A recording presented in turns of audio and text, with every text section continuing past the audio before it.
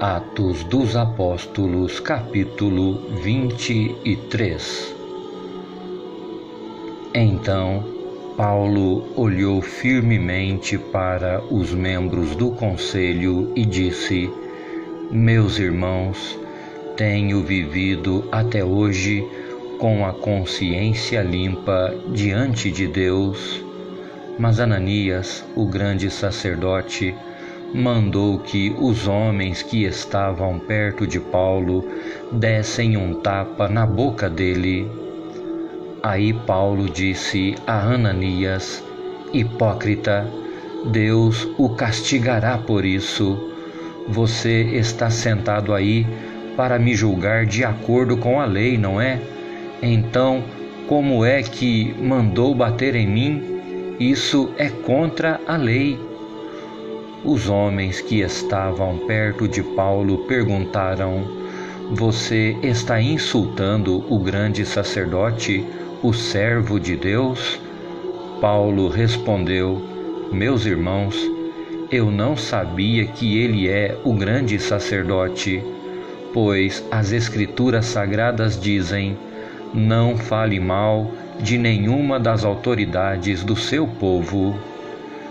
Quando Paulo percebeu que alguns do conselho eram do partido dos saduceus e outros do partido dos fariseus, disse bem alto: Meus irmãos, eu sou fariseu e filho de fariseus. Estou aqui sendo julgado porque creio que os mortos vão ressuscitar. Assim que ele disse isso, os fariseus e os saduceus começaram a discutir e o conselho se dividiu. É que os saduceus não creem que os mortos vão ressuscitar, nem que existem anjos ou espíritos, mas os fariseus creem nessas coisas. E assim a gritaria aumentou ainda mais. Então, alguns mestres da lei que pertenciam ao partido dos fariseus se levantaram e protestaram. Eles disseram: Não vemos nenhum mal neste homem. Pode ser mesmo que um anjo ou um espírito tenha falado com ele. A briga chegou a tal ponto que o comandante ficou com medo de que Paulo fosse despedaçado por eles. Por isso, mandou os guardas descerem para tirar Paulo do meio deles e o levar de volta para a fortaleza.